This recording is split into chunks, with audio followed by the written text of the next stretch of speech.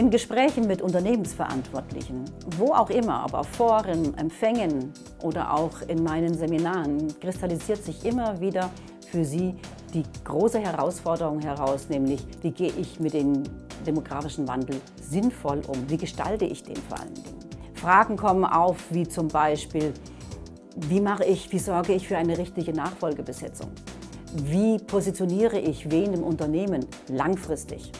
Wie sorge ich dafür, dass äh, Generationen sensibler miteinander umgehen?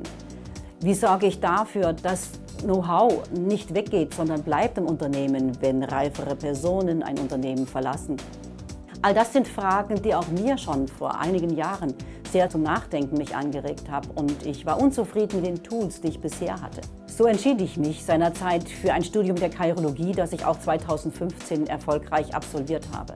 Heute bin ich in der Lage, aktiv diese Fragen gemeinsam mit meinen Klienten zu beantworten. Denn die Chirologie kommt von Kairos. Kairos ist der günstigste Augenblick kennen und nutzen. Gilt gerade auch für Unternehmen, wann ist der richtige Augenblick, etwas zu verändern?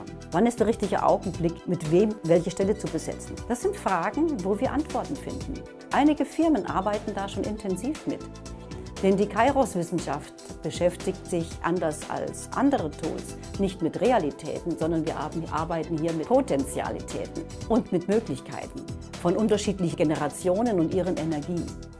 Der Blick, der kairologische Blick, ermöglicht nochmal zusätzlich andere Aspekte mit in Bezug zu setzen. Nämlich zum einen der Aspekt der Generation und ihre Potentialitäten kann man runterbrechen auf, auf dem Individuum, wann ist wer geboren und aus dieser Generation, welche Kräfte bringt er mit oder welche Potenziale bringt er mit und was passt zu ihm. Und wir können genauso schauen, wenn man jetzt eine Biografie auch mit den Menschen sich beschäftigt, hat er denn die Kraft, das, was von ihm auch gefordert wird, tatsächlich umzusetzen?